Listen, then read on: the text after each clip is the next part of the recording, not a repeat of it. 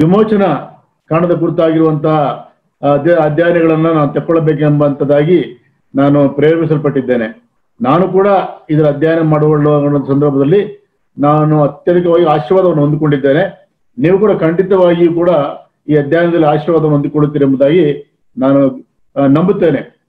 ವಿಮೋಚನಾ ಕಾಂಡ ಈ ಧರ್ಮಶಾಸ್ತ್ರ ಎಂಬುದಾಗಿ, ಅದು ಟೋರಾ ಎಂಬುದಾಗಿ ಹೇಳುವಾಗ ಮೊದಲನೇ ಐದು ಗ್ರಂಥಗಳು ಆ ಆದಿಕಾಂಡ, ವಿಮೋಚನ ಕಾಂಡ, ಯಾಜಕ ಕಾಂಡ ಮತ್ತು ಧರ್ಮೋಪದೇಶ ಕಾಂಡ, ಈ ಈ- ಐದು ಗ್ರಂಥಗಳು ಕೂಡ ಏನಾಗುತ್ತೆ ಅಂತಂದ್ರೆ ಧರ್ಮಶಾಸ್ತ್ರ ಎಂಬುದಾಗಿ ಅಥವಾ ಮೋಸೆಯಿಂದ ಬರೆಯಲ್ಪಟ್ಟಿರುವಂತಹ ಗ್ರಂಥಗಳು ಎಂಬುದಾಗಿ ಅವು ಕರೆಯಲ್ಪಟ್ಟಿವೆ.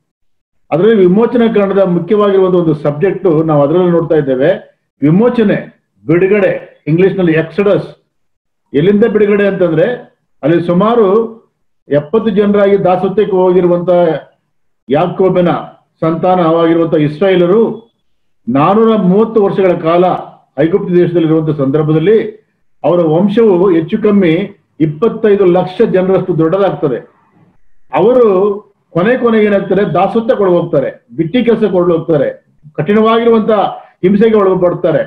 ಅಂತ ಸಂದರ್ಭದಲ್ಲಿ ಅವರು ಯಹೋವ ದೇವರಿಗೆ ಪ್ರಾರ್ಥಿಸಲಾಗಿ ದೇವರು ಮೋಶೆಯನ್ನ ಕಳಿಸಿಕೊಟ್ಟು ಆತನ ಮುಖಾಂತರವಾಗಿ ಈ ಇಪ್ಪತ್ತೈದು ಲಕ್ಷ ಜನರಿಗೆ ಅದ್ಭುತವಾಗಿರುವಂತ ರೀತಿಯಲ್ಲಿ ಬಿಡುಗಡೆಯನ್ನ ಮಾಡಿ ಅವರನ್ನ ಅಬ್ರಾಹ್ಮನಿಗೆ ಅಥವಾ ಅಬ್ರಾಹ್ಮನಿಗೆ ವಾಗ್ದಾನ ಮಾಡಿರುವಂತ ಹಾಲು ಜೇನು ಅರಿಯುವಂತ ಕಾನಾನ್ ದೇಶಕ್ಕೆ ಕರ್ಕೊಂಡು ಹೋಗುವಂತ ಒಂದು ಪ್ರಸಂಗವನ್ನ ನಾವು ಈ ವಿಮೋಚನೆ ಕಾಂಡದಲ್ಲಿ ನೋಡ್ತೇವೆ.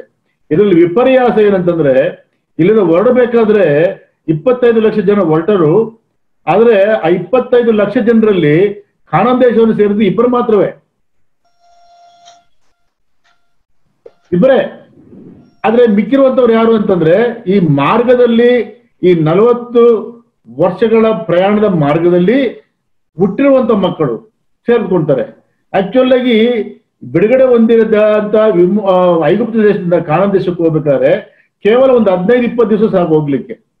ಆದ್ರೆ ನಲವತ್ತು ವರ್ಷ ಆಯ್ಕಿಡಿತ್ತು ಯಾಕೆ ಅಷ್ಟು ಜನ ಸತ್ತು ಹೋದ್ರು ಈ ನಲವತ್ತು ದಿವಸ ಪ್ರಯಾಣದಲ್ಲಿ ದೇವರು ಅದ್ಭುತ ಕಾರ್ಯಗಳನ್ನು ಮಾಡಿದನು. ಕೆಂಪು ಸಮುದ್ರವನ್ನು ವಿಭಾಗಿಸಿದನು. ಮನ್ನವನ್ನು ಸುರಿಸಿದನು. ಬಂಡೆಯನ್ನು ನೀರು ಕೊಟ್ಟನು.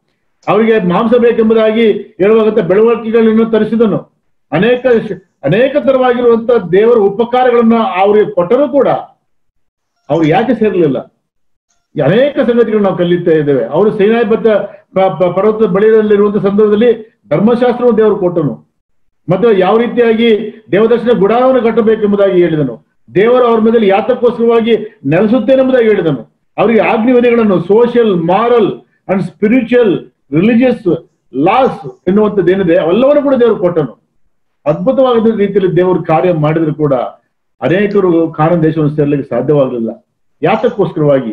ಈ ಒಂದು ಸಂಗತಿಗಳೆಲ್ಲ ಕೂಡ ನಾವು ಮುಂದೆ ನಾವು ಕಲಿಯಲಿಕ್ಕಿದ್ದೇವೆ ಆದ್ರೆ ಆಕ್ಚುಲ್ ಆಗಿ ವಿಮೋಚನಾ ಕಾಂಡವನ್ನ ಅಧ್ಯಯನಕ್ಕೋಸ್ಕರ ತೆಕ್ಕೊಳ್ಳೋದಕ್ಕಿಂತ ಮೊದಲು ಆದಿಕಾಂಡದಲ್ಲಿರುವಂತಹ ಕೆಲವು ಸಂಗತಿಗಳನ್ನ ನಿಮ್ಮ ಅಧಿಕಾರಿರುವಂತಹ ಕೆಲವು ಸಂಗತಿಗಳನ್ನ ನಿಮ್ಮ ಮುಂದೆ ಪಡುತ್ತೇನೆ ಆದಿಕಾಂಡದಲ್ಲಿ ಮುಖ್ಯವಾಗಿ ನಾಲ್ಕು ಸಂಗತಿಗಳನ್ನ ನಾವು ನೋಡ್ತೇವೆ ಆದಿಕಾಂಡದಲ್ಲಿ.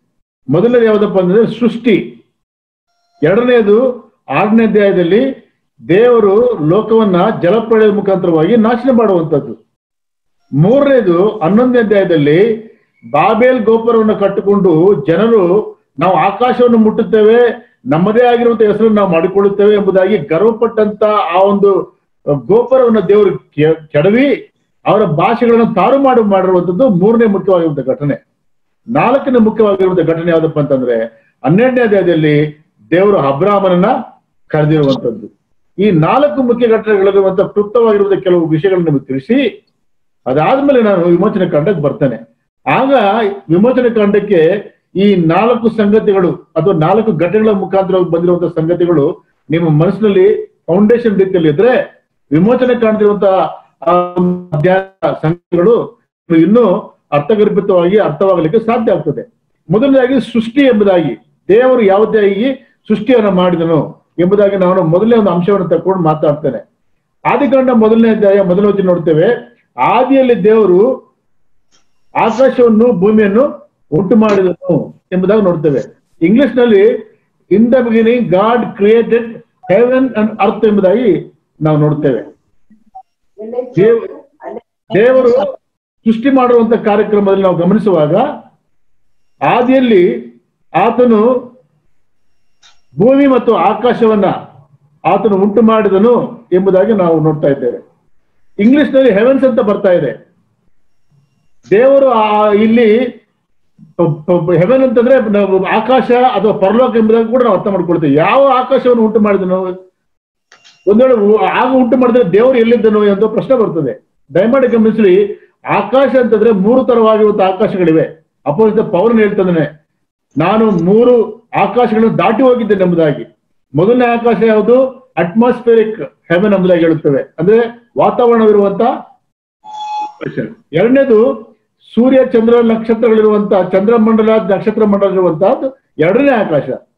ಅದರ ಮೇಲೆ ಮೂರನೇ ಆಕಾಶದಲ್ಲಿ ತಂದೆ ಆಗಿರುವ ದೇವರು ಆತ ನಿವಾಸ ಮಾಡ್ತಾನೆ. ಅದು ನಿವಾಸ ಸ್ಥಳ. ಇಲ್ಲಿ ದೇವರು ಸೃಷ್ಟಿ ಮಾಡುತ್ತಿದ್ದಾನೆ ಎಂಬುದು ಹೇಳುವಾಗ ಪರಲೋಕವನ್ನು ಸೃಷ್ಟಿ ಮಾಡ್ತಾ ಇಲ್ಲ.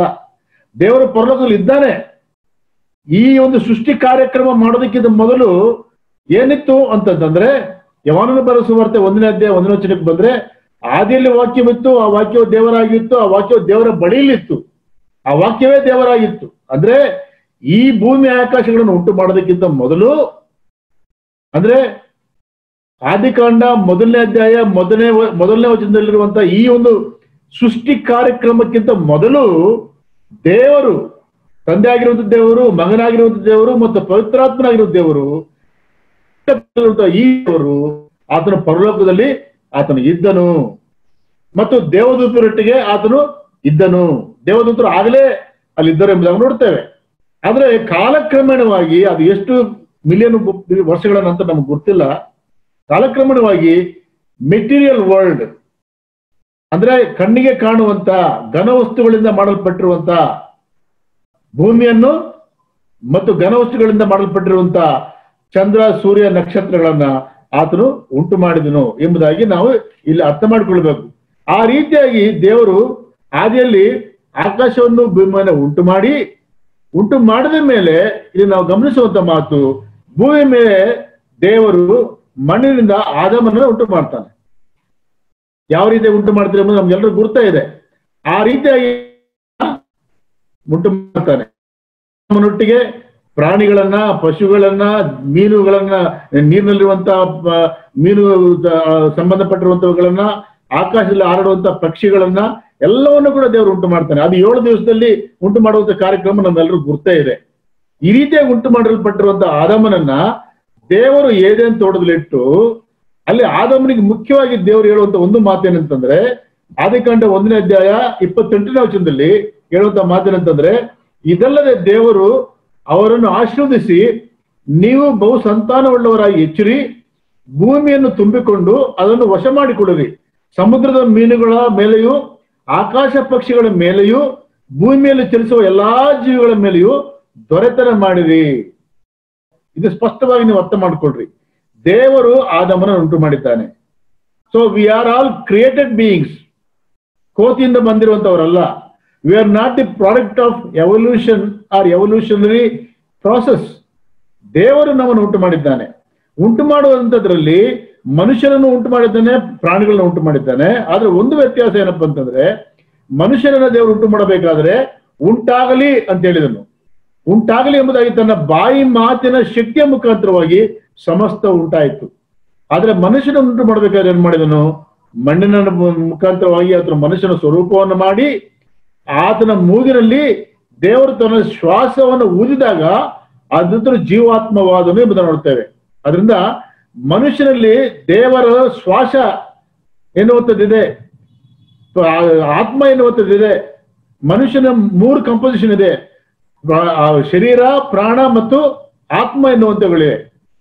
ಆದ್ರೆ ಪ್ರಾಣಿಗಳಲ್ಲಿ ಇವು ಮೂರಿಲ್ಲ. ಅಲ್ಲಿ ಎರಡೇ ಇರುವಂತದ್ದು ಪ್ರಾಣ ಮತ್ತು ಶರೀರ ಅಷ್ಟೇ. ಸೊ ಈ ರೀತಿಯಾಗಿ ದೇವರು ಉಂಟು ಮಾಡಿ ಅವ- ಉಂಟು ಮಾಡಿರುವಂತ ಆದಮನಿಗೆ ಮತ್ತು ಅವಳಿಗೆ ಹೇಳುವಂತ ಮಾತೇನಂತಂದ್ರೆ, ನೀವು ಈ ಭೂಮಿಯನ್ನು ವಶಪಡಿಸಿಕೊಳ್ರಿ. ಆಕಾಶ ಪಕ್ಷಿಗಳ ಮೇಲೆ, ಮೀನುಗಳ ಮೇಲೆ, ಆ, ಭೂಮಿಯಲ್ಲಿ ಚಲಿಸುವ ಎಲ್ಲಾ ಜೀವಿಗಳ ಮೇಲೆ ದೊರೆತನ ಮಾಡ್ರಿ. ಸೊ ದೇವರನ್ನು ಮನುಷ್ಯನ ಉಂಟು ಮಾಡಿರುವಂತದ್ದು ಆಳ್ಲಿಕ್ಕೋಸ್ಕರವಾಗಿ to rule the world to rule the animal world to rule the aquatic creation to rule the flying birds ಎಲ್ಲದರ ಮೇಲೆ ದೊರೆ ದೊರೆತನೆ ಮಾಡಬೇಕೆಂಬುದಾಗಿ ದೇವರು ಮನುಷ್ಯನನ್ನ ಉಂಟು ಮಾಡಿ ಆತನನ್ನು ಏದೇನ್ ತೋಟದಲ್ಲಿ ಇಟ್ಟನು ಎಂಬುದಾಗಿ ನೋಡ್ತೇವೆ ಏದೇನ್ ತೋಟದಲ್ಲಿ ಇಡಬೇಕಾದ್ರೆ ದೇವರು ಏನ್ ಮಾಡ್ತಾನೆ? ಒಂದು ಆಜ್ಞೆಯನ್ನ ಕೊಡ್ತಾನೆ.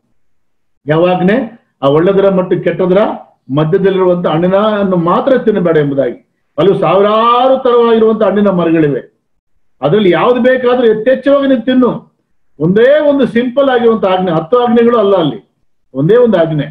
ಮಧ್ಯದಲ್ಲಿರುವಂತ ಹಣ್ಣಿನ ತಿನ್ನಬಾರ್ದು ಎಂಬುದಾಗಿ. ಯಾತಕ್ಕೋಸ್ಕರವಾಗಿ ದೇವರು ಆಜ್ಞೆಯನ್ನು ಕೊಟ್ಟರು ಅಂತಂದ್ರೆ, ಮನುಷ್ಯನನ್ನ ದೇವರು ಉಂಟು ಮಾಡಬೇಕಾದ್ರೆ ಆತನನ್ನ ಒಬ್ಬ ರೋಬೋಟ್ ಆಗಿ, ಒಂದು ಮಿಷನ್ ಅನ್ನಾಗಿ ಉಂಟು ಮಾಡಲಿಲ್ಲ. ಬಟನ್ ಪ್ರೆಸ್ ಮಾಡಿ, ಯಾವ ರೀತಿಯ ಬಟನ್ ಪ್ರೆಸ್ ಮಾಡಿದ್ರೆ ಆ ರೀತಿಯಾಗಿ ಪ್ರವರ್ತಿಸಬೇಕೆನ್ನುವಂತ ರೀತಿಯಲ್ಲಿ ದೇವರು ಉಂಟು ಮಾಡಲಿಲ್ಲ.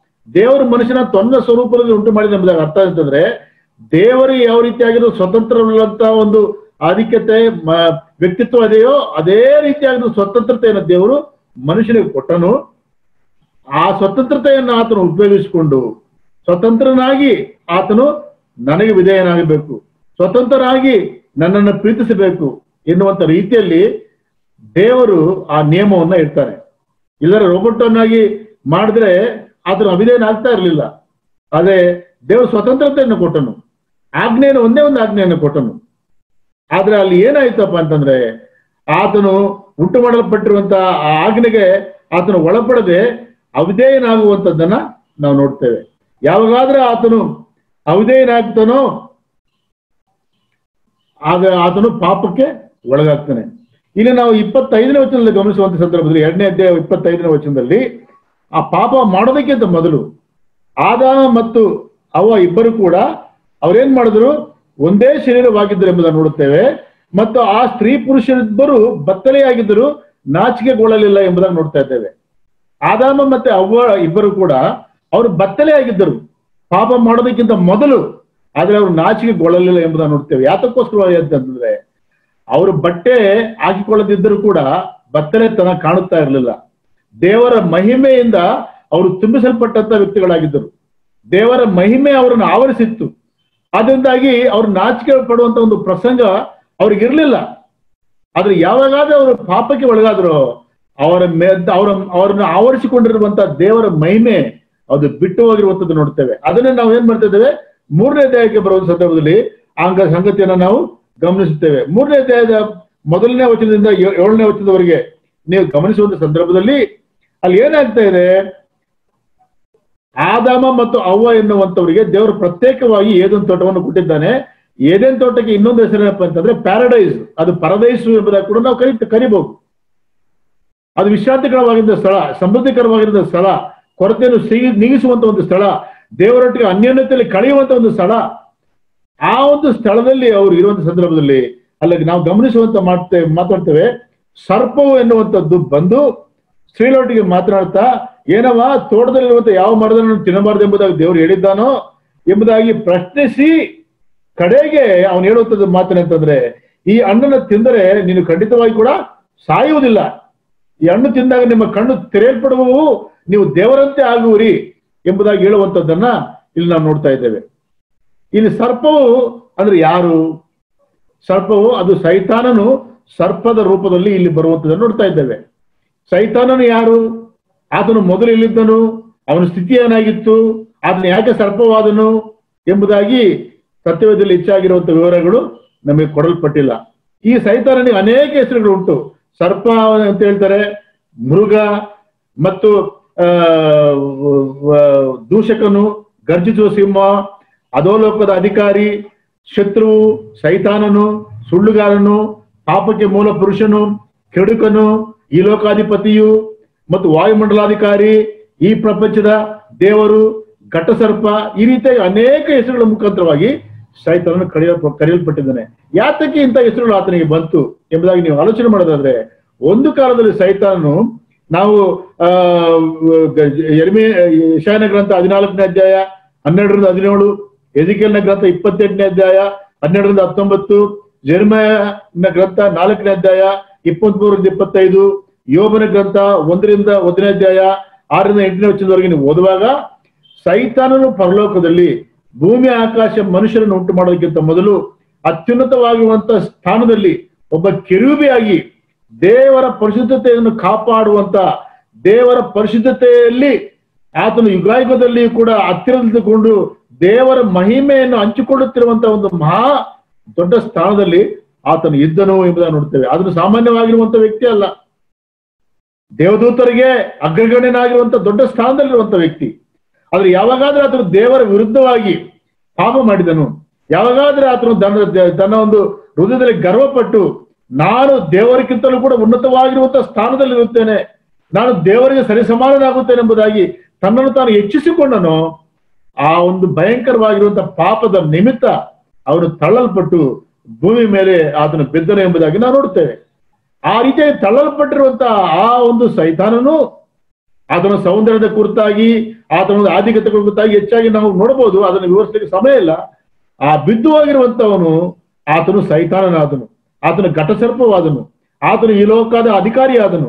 ಆತನು ಪಾಪಕ್ಕೆ ಮೂಲ ಪುರುಷನಾದನು ಈಗ ಅವನೇನ್ ಬರ್ತಾ ಇದ್ದಾನೆ? ಬಂದು ಆದಾಮ ಮತ್ತು ಅವ ಹತ್ರ ಏನ್ ಮಾಡ್ತಿದ್ದಾನೆ ನೀವು ತಿಂದ್ರೆ ಏನಾಗೋದಿಲ್ಲ ಎನ್ನುವಂತ ರೀತಿಯಲ್ಲಿ ಆತನು ಮಾತನಾಡುವಂಥದ್ದನ್ನ ನಾವು ನೋಡ್ತಾ ಇದ್ದೇವೆ. ಸೈತಾನಿಗೆ ಏನು ಮನಸ್ಸಲ್ಲಿದೆ ಅಂತಂದ್ರೆ ದೇವರು ಯಾವ ರೀತಿಯಾಗಿ ಆರಾಧನೆಯನ್ನ ಹೊಂದಿಕೊಳ್ಳುತ್ತಿದ್ದಾನೋ, ದೇವರು ಯಾವ ರೀತಿಯಾಗಿ ಮನುಷ್ಯರಿಂದ ಘನತೆಯನ್ನ ಪ್ರಭಾವ ಹೊಂದಿಕೊಳ್ಳುತ್ತಿದ್ದಾನೋ, ಅದನ್ನ ಹಂಚಿಕೊಳ್ಳಿಕ್ಕೆ ಪ್ರಯತ್ನ ಪಡ್ತಾನೆ. ಅದು ನನಗೆ ಬೇಕು. ಅದು ಅರ್ಹನಲ್ಲ. ಅದನ್ನು ಕೇವಲ ಸೃಷ್ಟಿ ಮಾತ್ರವೇ. ಆದ್ರೆ ದೇವರ ಒಂದು ಆಧಿಕ್ಯತೆಯನ್ನು ಹೊಂದಿಕೊಳ್ಳಿಕ್ಕೋಸ್ಕರವಾಗಿ ಆತನು ಪ್ರಯತ್ನ ಪಡುವಂತವನಾಗಿದ್ದು, ಅದೇ ರೀತಿಯಾಗಿರುವಂತಹ ಆಸೆಯನ್ನು ಕೂಡ, ಅದೇ ರೀತಿಯಾಗಿರುವಂತಹ ಪಾಪದ ಆಲೋಚನೆಯನ್ನು ಕೂಡ ಆದಾಮ ಮತ್ತು ಅವಳಿಗೆ ಅದನ್ನು ಕೊಡುವಂತವನು ಆಗಿದ್ದಾನೆ ಯೇಸು ಕ್ರಿಸ್ತನ ಈ ಲೋಕದಲ್ಲಿರುವಂತಹ ಸಂದರ್ಭದಲ್ಲಿ ನಮ್ಗೆ ಗೊತ್ತಿರುವ ಸಂಗತಿನೇ ಮತಾನುಭವ ಸುವಾರ್ತೆ ನಾಲ್ಕನೇ ಅಧ್ಯಾಯ ಎಂಟು ಮತ್ತು ಹತ್ತನೇ ವರ್ಷದಲ್ಲಿ ನೋಡುವಾಗ ಏನ್ ಮಾಡ್ತೇವೆ? ಅಲ್ಲಿ ಸಹಿತ ಈ ಯೇಸು ಕ್ರಿಸ್ತನನ್ನು ಶೋಧನೆಗೆ ಒಳಪಡಿಸುತ್ತಾನೆ. ಯೇಸು ಕ್ರಿಸ್ತನ ಶೋಧನೆಗೆ ಒಳಪಟ್ಟಂತ ಸಂದರ್ಭದಲ್ಲಿ ಸೈತಾನನು ಯೇಸು ಕ್ರಿಸ್ತನ ಬಳಿಗೆ ಬಂದು ಏನ್ ಹೇಳ್ತಾನೆ?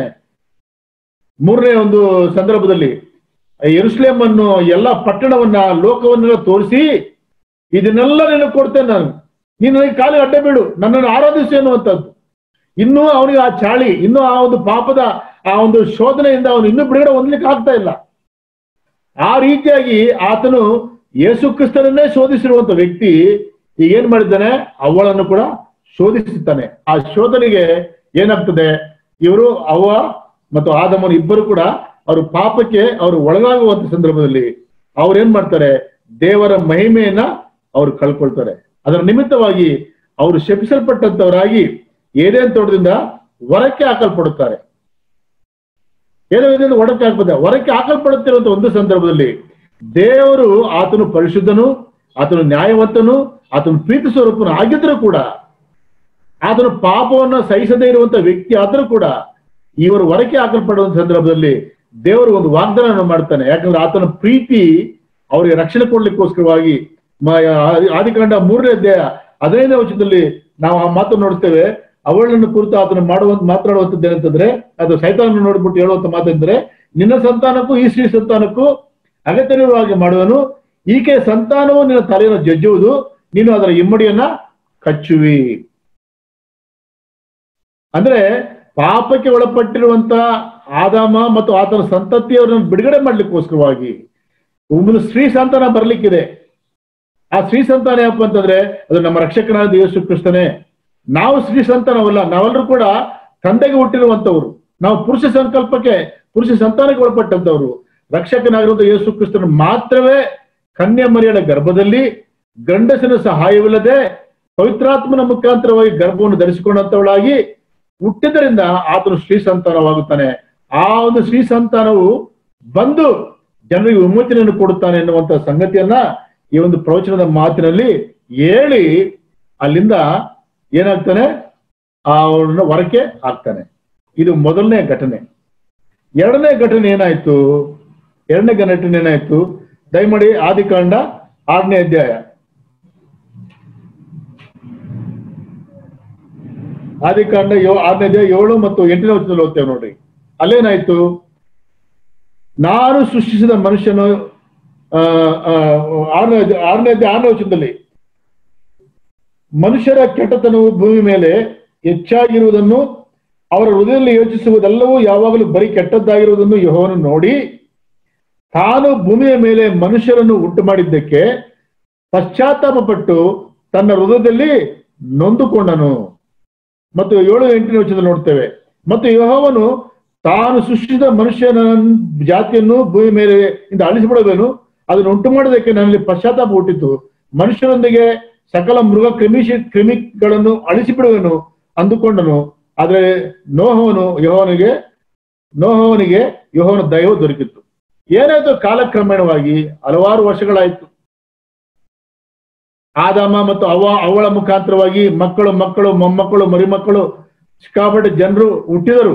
ಹುಟ್ಟಿದ ಮೇಲೆ, ಅದಾದ್ಮೇಲೆ ಏನಾಯ್ತು ಅಂತಂದ್ರೆ, ಅವರು ಭೂಮಿಯನ್ನ ಆವರಿಸಿಕೊಂಡರು. ಭೂಮಿಯನ್ನು ಆವರಿಸಿಕೊಂಡ ಮೇಲೆ ದೇವರು ಮನುಷ್ಯನ ಉಂಟು ಮಾಡಿರುವಂತ ಪ್ರಾಮುಖ್ಯವಾಗಿರುತ್ತ ಒಂದು ಸಂಗತಿ ಏನಂತಂದ್ರೆ, ಅವರು ಭೂಮಿಯನ್ನ ದೊರೆತನ ಮಾಡಬೇಕು, ಆಳಬೇಕು, ಮತ್ತು ಅವರು ದೇವರಿಗೆ ವಿಧೇಯರಾಗಿ ಆತನ ಮಹಿಮೆಯುಳ್ಳ, ಆತನ ಮಹಿಮೆ, ಮಹಿಮೆಯನ್ನು ಪಡಿಸುವಂತವರಾಗಿರ್ಬೇಕು ದೇವರಿಗೆ ಇವರ ಆಶೀರ್ವಾದವನ್ನು ದೇವರು ಕೊಟ್ಟಿದ್ದಾನೆ. ನೀವು ಆಳ್ರಿ, ನೀವು ದೊರೆತನೆ ಮಾಡ್ರಿ, ಎಲ್ಲ ನೀನು ಕೊಟ್ಟಿದ್ದೇನೆ ಎಂಬುದಾಗಿ ದೇವರು ಹೇಳಿದ್ದಾನೆ. ಆದ್ರೆ ದೇವರು ಏನ್ ಬಯಸ್ತಾನೆ ಅಂತಂದ್ರೆ ದೇವರನ್ನ ಮಹಿಮೆ ಪಡಿಸುವಂತವ್ರು ದೇವರನ್ನ ಆರಾಧಿಸುವಂತವ್ರು ದೇವರಿಗೆ ವಿಧೇಯರಾಗಿರುವಂತವ್ರು ಆಗಿರ್ಬೇಕೆಂಬುದಾಗಿ ದೇವರು ಬಯಸ್ತಾರೆ.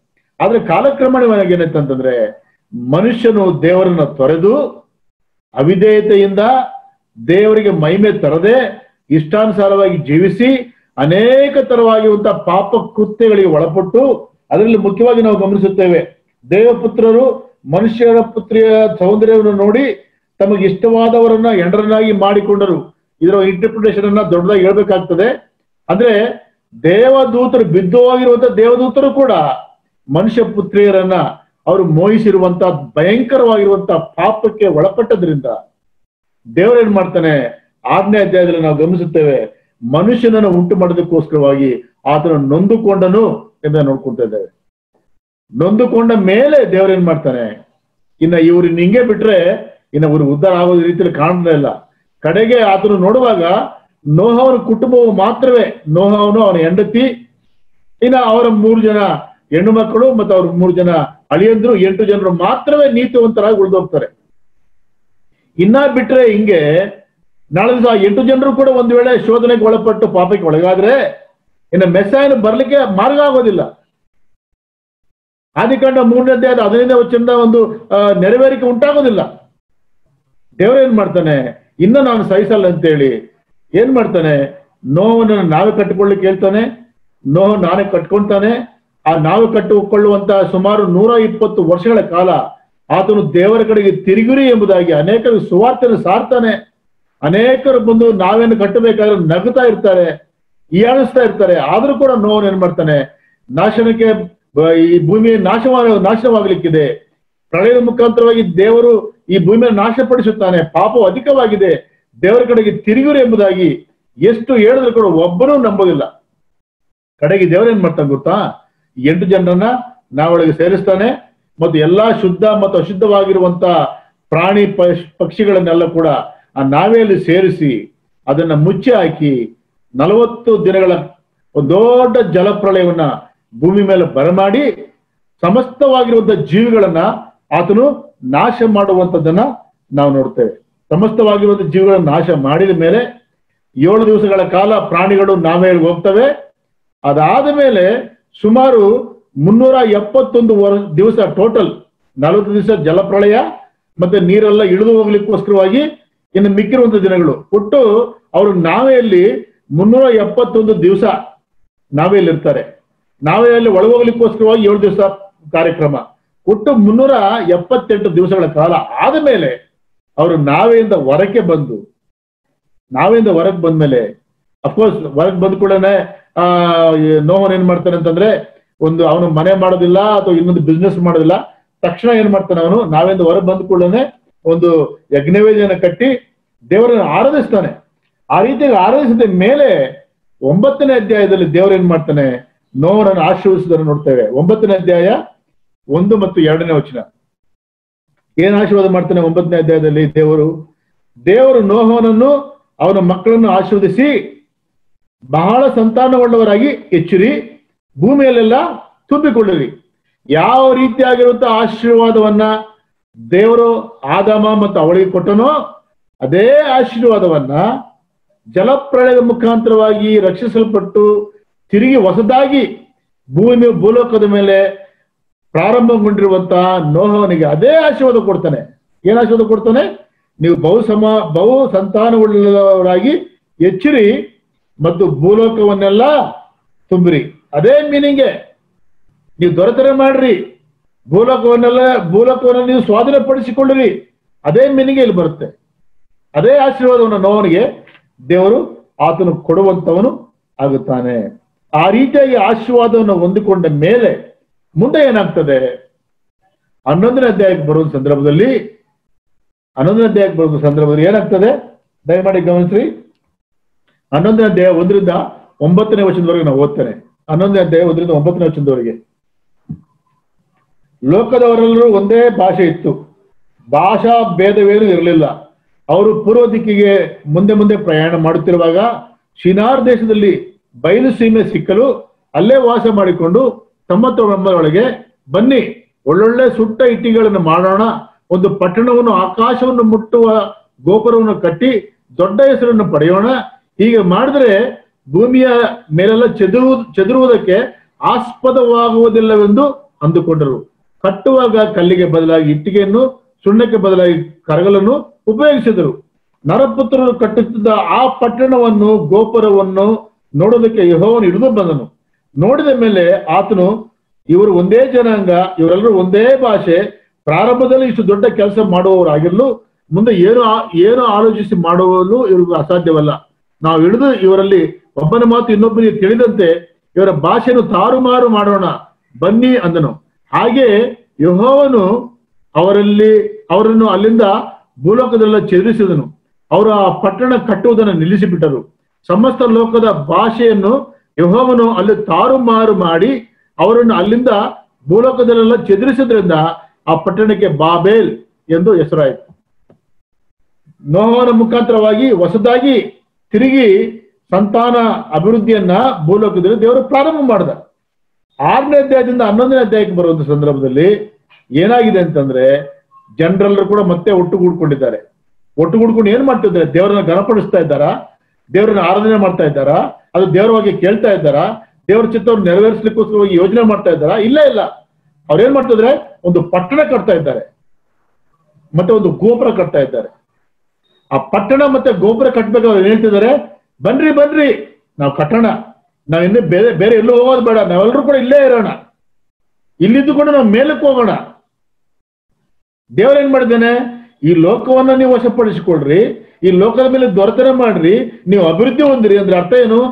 ಲೋಕವನ್ನೆಲ್ಲ ತುಂಬಬೇಕು, ಭೂಮಿಯನ್ನೆಲ್ಲ ತುಂಬಬೇಕು, ಎಲ್ಲಾ ಕಡೆ ನಾವು ಚದುರಿಸಲ್ಪಡಬೇಕು, ಇದನ್ನ ಆಕ್ರಮಿಸಿಕೊಳ್ಳಬೇಕು, ಇದರ ದೊರೆತನ ಮಾಡಬೇಕು ಎಂಬುದಾಗಿ ದೇವರ ಆಸೆ ಆದ್ರೆ, ಇವ್ರೇನ್ ಹೇಳ್ತಿದ್ರೆ? ನಾವು ಚದುರೋದು ಬೇಡ, ನಾವು ಹೋಗೋದು ಬೇಡ, ನಾವು ಇಲ್ಲೇ ಬಿಲ್ಡಿಂಗ್ ಕಟ್ಕೊಂಡು ಇಲ್ಲೇ ಇರೋಣ, ಇಲ್ಲಿಂದ ನಾವೇನ್ ಮಾಡೋಣ? ಒಂದು ಗೋಪುರವನ್ನು ಕಟ್ಟಿಕೊಂಡು ನಾವು ಹೆಸರು ಮಾಡಿಕೊಳ್ಳೋಣ, ದೇವರನ್ನು ಮೈಂಪಡಿಸೋಣ ಅಲ್ಲ. ದೇವರ ಮಹಿಮೆಗೋಸ್ಕರ ಜೀವಿಸುತ್ತೇವೆ ಅನ್ನುವಂತ ಆಲೋಚನೆ ಇಲ್ಲ. ನಾವು ಹೆಸರು ಮಾಡಿಕೊಳ್ಳೋಣ. ನಾವು ಪರಲೋಕದ ಕಡೆ, ಆಕಾಶದ ಕಡೆ, ನಾವು ಏರು ಹೋಗುವಂಥದ್ದನ್ನ ಸೈತಾನನು ಕೂಡ ಅದೇ ಯೋಚನೆ ಮಾಡಿದೆ. ಅವನೇನ್ ಮಾಡಿದೆ ಸೈತಾನನು, ನಾನು ಉನ್ನತೋನ್ನತವಾಗಿರುವಂತ ಆಕಾಶದ ಮೇಲೆ ನನ್ನ ಸಿಂಹಾಸನವನ್ನು ಹಾಕೊಳ್ತೇನೆ ದೇವರಿಗಿಂತಲೂ ಕೂಡ ಎತ್ತರವಾಗಿರುವಂತ ಸ್ಥಳಕ್ಕೆ ನಾನು ಹೊರಟೋಗ್ತೇನೆ ಎಂಬುದಾಗಿ ಸೈತಾನನು ಆಲೋಚನೆ ಮಾಡಿದನು. ಅದೇ ಪಾಪವನ್ನ, ಅದೇ ಗರ್ವವನ್ನ, ಅದೇ ರೀತಿಯಾಗಿರುವಂತ ಅವಿಧೇಯತೆಯನ್ನ ಇಲ್ಲಿ ಈ ಒಂದು ಬಾಬೇಲ್ ಪಟ್ಟಣದವ್ರು ಏನ್ ಮಾಡ್ತಿದ್ದಾರೆ? ಮಾಡ್ತಾ ಇದ್ದಾರೆ. ಇದನ್ನ ದೇವ್ರು ನೋಡಿ ಏನ್ ಮಾಡ್ದ? ಇವ್ರನ್ನ ಕನ್ಫ್ಯೂಸ್ ಮಾಡ್ಬೇಕು. ಈಗಲೇ ಹಿಂಗಿದ್ದಾರಲ್ಲ? ಇನ್ನು ಮುಂದೆ ಇನ್ನೆಂತ ದೊಡ್ಡ ಪಾಪಗಳನ್ನ ಮಾಡ್ತಾರೆ ಇವರು? ಅಂತೇಳಿ ಆ ಒಂದು ಬಾಬೆಲ್ ಗೋಪುರವನ್ನ ತಳ್ಳಿ ಹಾಕ್ತಾನೆ ಮತ್ತು ಅಲ್ಲಿ ಅವರ ಭಾಷೆಯನ್ನೆಲ್ಲ ಚೇಂಜ್ ಮಾಡಾಕ್ತಾನೆ. ಈ ಭಾಷೆ ಎಲ್ಲಿಂದ ಪ್ರಾರಂಭ ಆಯ್ತು? ಈಗ ಪ್ರಪಂಚದಲ್ಲಿ ಇಲ್ಲಾಂದ್ರೂ ಕೂಡ ಎರಡೂವರೆ ಸಾವಿರ ಭಾಷೆಗಳಿದೆ ಅಥವಾ ಮೂರು ಸಾವಿರ ಭಾಷೆಗಳಿದೆ ಅಂತ ಹೇಳ್ತಾರೆ. ನಮ್ಮ ಇಂಡಿಯಾ ದೇಶದಲ್ಲಿ ಸುಮಾರು ಎಂಟು ನೂರು ಭಾಷೆಗಳಿವೆ. ನೋಟಿನ ಮೇಲೆ ಸುಮಾರು ಹದಿನೈದು ಭಾಷೆಗಳು ಬರೆಯಲ್ಪಟ್ಟಿವೆ. ಅವು ರೆಕಗ್ನೈಸ್ಡ್ ಭಾಷೆಗಳು ಅನ್ಕೊಡ್ರಿ ನಮ್ಮ ಇಂಡಿಯಾದಲ್ಲಿ ಎಂಟುನೂರು ಭಾಷೆಗಳಿವೆ. ಈ ಭಾಷೆಗಳು ಎಲ್ಲಿಂದ ಬಂತು ಅಂತಂದ್ರೆ, ಈ ಬಾಬೇಲ್ ಪ್ರಾರಂಭ. ಯಾತಕ್ಕೋಸ್ಕರ ಬಂತು? ಈ ಭಾಷೆಗಳ ಮುಖಾಂತರವಾಗಿ ಅವರು ವಿಭಾಗವಾಗಬೇಕು, ಅದು ಚದುರಿಸಲ್ಪಡಬೇಕು. ದೇವರಿಗೆ ಚಾಲೆಂಜ್ ಮಾಡುವಂಥದ್ದು ನಮಗೆ ಹೆಸರು ಮಾಡಿಕೊಳ್ಳೋಣ ಎಂಬುದಾಗಿ, ದೇವರಿಗೆ ವಿರೋಧವಾಗಿ ಕೆಲಸ ಮಾಡುತ್ತಿರುವಂತ ಕಾರ್ಯಕ್ರಮವನ್ನ ನಿಲ್ಲಿಸಬೇಕೆಂಬುದಾಗಿ ಒಂದು ಪನಿಷ್ಮೆಂಟ್ ರೀತಿಯಲ್ಲಿ ಕೊಡಲ್ಪಟ್ಟಿರುವಂಥದ್ದು ಈ ವಿಭಿನ್ನವಾಗಿರುವಂತ ಭಾಷೆಗಳು. ಈ ವಿಭಿನ್ನವಾಗಿರುವಂತಹ ಭಾಷೆಗಳು ಕಟ್ಟಿದ ಮೇಲೆ ಅವರು ಪಟ್ಟಣವನ್ನ, ಗೋಪುರವನ್ನ ಕಟ್ಟುವಂತದ್ದನ್ನ ನಿಲ್ಲಿಸಿದ್ರು. ಯಾತಕ್ಕೆ? ಅವ್ನು ಸಿಮೆಂಟ್ ತಗೊಂಬಂತ ನೀರ್ ತಗೊಂಡ್ ಹೋಗ್ತಾನೆ ನೀರ್ ತಗೊಂಬಂದ್ರೆ ಇಟ್ಕೆ ತಗೊಂಡ್ ಹೋಗ್ತಾನೆ ಜಲ್ಲಿ ತಗೊಂಬಂದ್ರೆ ಮಣ್ಣು ತಗೊಂಡ್ ಹೋಗ್ತಾನೆ ಆ, ಒಂದಕ್ಕೊಂದು ಮಾತು ಅವ್ರಿಗೆ ಸೆಟ್ ಆಗ್ತಾನೆ ಇಲ್ಲ. ಅವರು ಚದುರಿ ಹೋಗ್ಲಿಕ್ಕೆ ಮತ್ತೆ ಅಲ್ಲಿ ಆಸ್ಪದ ಆಯ್ತು.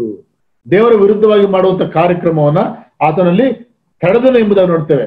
ಆದ್ರೆ ಅದೇ ಒಂದು ಸಂದರ್ಭದಲ್ಲಿ, ಆ ಅಪೋಸ್ತಲರ ಕೃತ್ಯ ಎರಡನೇ ಅಧ್ಯಾಯ ಹನ್ನ, ಹನ್ನೊಂದನೇ ವಚನಕ್ಕೆ ಬರುವ ಸಂದರ್ಭದಲ್ಲಿ ಅಲ್ಲಿ ನಾವು ಗಮನಿಸುತ್ತೇವೆ ಪವಿತ್ರಾತ್ಮನಾಗಿರುವಂತ ದೇವರು. ಈ ಭೂಲಕ್ಕೆ ಇಳಿದು ಬಂದ ಸಂದರ್ಭದಲ್ಲಿ, ಆ ಎರಡನೇ ಎರಡನೇ ಎರಡನೇ ಅಧ್ಯಾಯದಲ್ಲಿ ನಾವು ನೋಡ್ತೇವೆ ಪವಿತ್ರಾತ್ಮನಾಗಿರೋ ದೇವರು ಈ ಭೂಲಕ್ಕೆ ಗೆಳೆದು ಬಂದ ಸಂದರ್ಭದಲ್ಲಿ, ಅವ್ರ ಅನ್ಯ ಭಾಷೆ ಮಾತನಾಡಿದ್ರೆ ನಾವು ನೋಡ್ತಾ ಇದ್ದೇವೆ. ಆ ಒಂದು ಆ, ಪವಿತ್ರಾತ್ಮನು ಈ ಲೋಕಕ್ಕೆ ಇಳಿದು ಬಂದಂತ ಸಂದರ್ಭದಲ್ಲಿ ಅನ್ಯ ಭಾಷೆ ಶಿಷ್ಯರು ನೂರ ಇಪ್ಪತ್ತು ಜನರು ಏನೋ ಆ ಮೇಲುಪ್ಪರಿಗೆ ಮನೆ ಮೇಲೆ ಇದ್ದರು. ಅವರು ಪವಿತ್ರಾತ್ಮ ತುಂಬಿಸಲ್ಪಟ್ಟಂತವರಾಗಿ ಅನ್ಯ ಭಾಷೆ ಮಾಡುವಂತ ಸಂದರ್ಭದಲ್ಲಿ ಆ ಒಂದು ಹಬ್ಬಕ್ಕೋಸ್ಕರವಾಗಿ ಬಂದಿರುವಂತ ಸುಮಾರು ಹನ್ನೊಂದು ದೇಶಗಳಿಂದ ಬಂದಿರುವಂತ ಇಸ್ರಾಯಲ್ರು ತಮ್ಮ ತಮ್ಮ ಭಾಷೆಯಲ್ಲಿ ಈ ಸುವಾರ್ತೆಯನ್ನು ಕೇಳಿದರು. ಯಾಕಂದ್ರೆ ಇಸ್ರಾಯಲ್ ಚದುರಿಸಲ್ಪಟ್ಟಿರುವಂತವರು ಅಥವಾ ಬೇರೆ ಬೇರೆ ದೇಶದಲ್ಲಿರುವಂತವರು ಅವರು ಅಪೋಸರ ಕೃತ್ಯದಲ್ಲಿ ಬಂದ ಸಂದರ್ಭದಲ್ಲಿ ಅವರು ತಮ್ಮ ತಮ್ಮ ಭಾಷೆಯಲ್ಲಿಯೇ ಆ ಒಂದು ಪೇತ್ರನ ಅಥವಾ ದೇವರ ವಾಕ್ಯವನ್ನ ಅವ್ರಿಗೆ ಕೇಳುವ ಕೇಳುವಂತ ಸಂಗತಿ ನೋಡ್ತಾರೆ ಇಲ್ಲಿ ಏನು ಅರ್ಥ ಆಗ್ತಂದ್ರೆ ಬಾಬೇಲ್ ಅನ್ನುವಂಥದ್ದು ರಿವರ್ಸ್ ಆಗ್ತಾ ಇದೆ. ಇಲ್ಲಿ ದೇವರ, ದೇವರಿಗೆ ವಿರುದ್ಧವಾಗಿ ಕೆಲಸ ಮಾಡುತ್ತ ಸಂದರ್ಭದಲ್ಲಿ ಭಾಷೆಗಳು ಉಂಟಾಯಿತು. ಭಾಷೆಗಳು ಉಂಟಾಗಿ ಅದಕ್ಕೆ ಬಾಬೆಲ್ ಎಂಬುದಾಗಿ ಹೆಸರು ಬಂತು. ಬಾಬೆಲ್ ಅಂತಂದ್ರೆ ಕನ್ಫ್ಯೂಷನ್ ಎಂಬುದಾಗಿಯೂ, ತಾರುಮಾರು ಎಂಬುದಾಗಿ ಅರ್ಥ. ಆದ್ರೆ ದೇವರ ಆತ್ಮರು ಬಂದಾಗ ಅವೆಲ್ಲವೂ ಕೂಡ ಕನ್ಸಾಲಿಡೇಟ್ ಆಗುವಂತದ್ದನ್ನು ನೋಡ್ತಾ ಇದ್ದೇವೆ. ಬೇರೆ ಬೇರೆ ದೇಶದಿಂದ ಸುಮಾರು ಎರಡನೇ ಅಧ್ಯಾಯ ಹತ್ತನೇ ವಚನ ನೋಡ್ತೇವೆ ನೋಡಿ. ಒಂಬತ್ತನೇ ವಚನದಲ್ಲಿ ಎಲ್ಲಿಂದ ಬಂದ್ರು? ಪಾತ್ಯರು, ಮೇದ್ಯರು, ಇಲಾಮಿಯರು, ಮೆಸಪತೋಮಿಯದವರು, ಯೋದಾಯ ಕಪ್ಪದೊಕ್ಕ ಪಂತ ಹಾಸ್ಯ, ಪುಗ್ಯ ಪಂಪುಲ್ಯ ಅಯುಕ್ತ ಕುರೇನ, ಈ ಸೀಮೆಗಳಿಂದ ಬಂದಿರುವಂತ ಜನರು ಪೇತ್ರನ ಮುಖಾಂತರವಾಗಿ ಅನ್ಯ ಭಾಷೆಗಳನ್ನ ಅಥವಾ ಅಲ್ಲಿ ನೆಲೆದಿರುವಂತ ಮುಖಾಂತರ ಅನ್ಯ ಭಾಷೆಗಳನ್ನ ಕೇಳುವಾಗ ಅವರು ತಮ್ಮ ತಮ್ಮ ಭಾಷೆಯಲ್ಲೇ ಕೇಳಿಕೊಂಡ್ರು ಎಂಬುದನ್ನು ನೋಡ್ತೇವೆ. ಇಲ್ಲಿ ಭಾಷೆಗಳು ಕೂಡಿಪಡಿಸಲ್ಪಡುವಂಥದ್ದನ್ನ ನಾವು ನೋಡ್ತಾ ಇದ್ದೇವೆ. ಬಾಬೇಲ್.